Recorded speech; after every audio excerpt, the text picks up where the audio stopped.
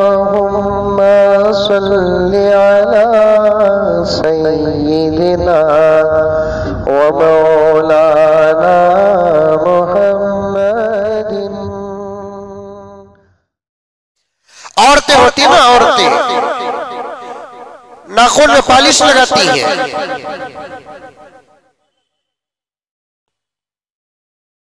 आजकल मर्द भी लगा रहे हैं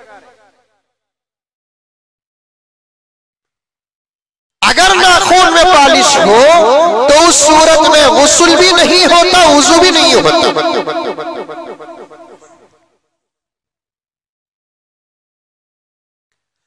इन तमाम बातों को हम छोटी बातें समझती हैं समझते हैं। ये इतने अहम बातें हैं हमारी बड़ी बड़ी इबादतों का दारो मदार इन छोटी छोटी बातों पर है।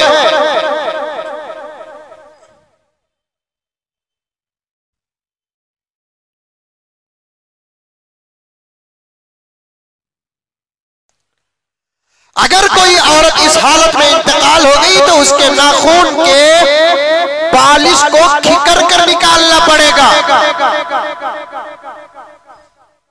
वरना अगर कोई औरत नाखून पालिश लगाई है, इस हालत में उसका इंतकाल हो गया, उसके नाखूनों को खिकरा नहीं गया, फिर उस पर गसल कर रहे हैं, गसल नहीं होता, फिर उस पर जनाजे की नमाज़ भी नहीं होती।